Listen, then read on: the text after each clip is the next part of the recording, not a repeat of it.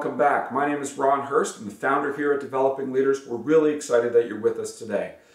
You know, over the last several weeks, we've been taking on some pretty common questions that people have about leadership. You know, questions like, is the leader born or made? The answer is yes, by the way. Uh, how do I motivate my team? Or what's the difference between a leader and a manager? Today, we're going to take on a different question, and it's one that I have always really liked. I think it's an important question to ask, and there's good news for those of you if this question applies to you. And the question is simply this I'm shy. Can I be a leader? Well, let me cut right to the chase. The answer is yes, you absolutely can. You know, what I believe about leadership and what we teach here at Developing Leaders is that there is no one cookie cutter answer to what is leadership. There isn't one perfect style of leadership, not one perfect set of traits that you have to have. If there were, then trait theory would be the only answer, and hence leaders were born and not made. And if you can't learn to be a leader, then what's the point? I mean, the bottom line is this you can learn to be a leader. What we need to do is teach you how to leverage your strengths. Okay? Three points I want to make today. If you're a shy person and you're struggling with the concept of becoming a leader, I want to let you know that there is hope. You know, when I first moved from Michigan to California, I moved into an environment where I knew no one. Take on a manager's role in an organization where I knew no one other than the person that interviewed me. And, well, he was my boss. We weren't really good friends or anything. So, you know, I discovered something really powerful because I'm right on the edge of an introvert extrovert that I develop deep relationships with one person at a time. And I think recognizing that introverts tend to have a few very close connections is an important point.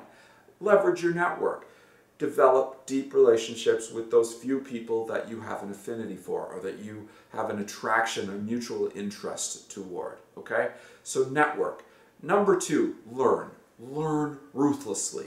Become the absolute expert in your area of, of interest.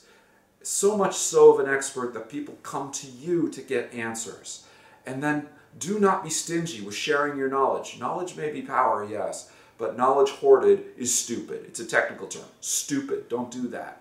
Become the expert. Learn everything that you can about your area of interest. Be the one that people come to. And then finally, focus. Make sure you have absolute clarity on what you want to do, where you want to go, and recognize that the more you focus on achieving your goals, the easier it will become to achieve them, and people will come to follow you because of that. As I said, I've dealt with this myself throughout my career. I have a mentor in my life who describes himself as a painful introvert. He's the CEO of a major firm. The reality of it is, ladies and gentlemen, it doesn't matter if you're an introvert or an extrovert, you can be a leader. The question is, do you want to be? Do you have the thing deep in your gut that says, I know how, I want to do it, I'm going to take people with me? Network with others. Develop Leverage the fact that you have deep, powerful relationships with a small group of people. Maybe stretch it by one. Okay? Reading a really cool quote by a guy named Michael Myatt recently. Writes for Forbes magazine and he's a CEO, um, advisor, and consultant. He said that leadership begins at the end of your comfort zone. Didn't say how far over the edge of the end of your comfort zone, so just get to the edge of your comfort zone, develop a new one new relationship. How about that? One new relationship. And you'll find that your network just expanded, maybe by as much as 33%. But it expanded. And when you're able to do that and just selectively and strategically expand your network, you will find yourself more able to influence outcomes.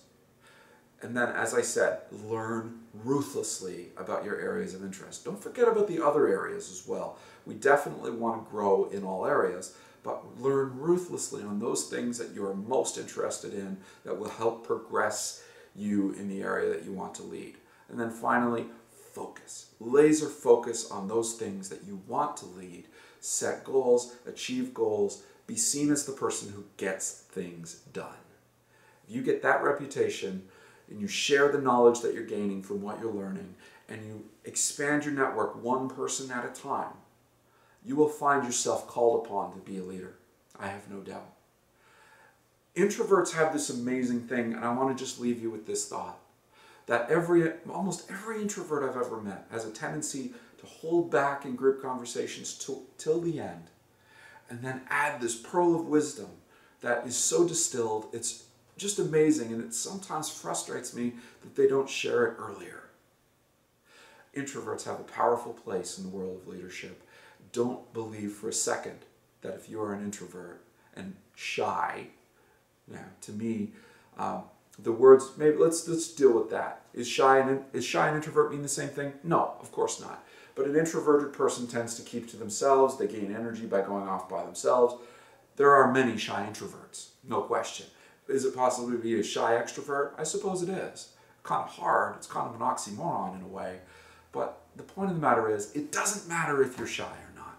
There's room for you at the table of leadership. So join us. I encourage you to come to our website www.developingleaders.co, not .com, .co. Check us out. Check out some of the other videos. We're actually in the process of putting up some training videos that we think you'll that you'll really like. So check those out as well. Give us some feedback. Contact us at developingleaders.co. Look forward to seeing you next time. Make it a great day.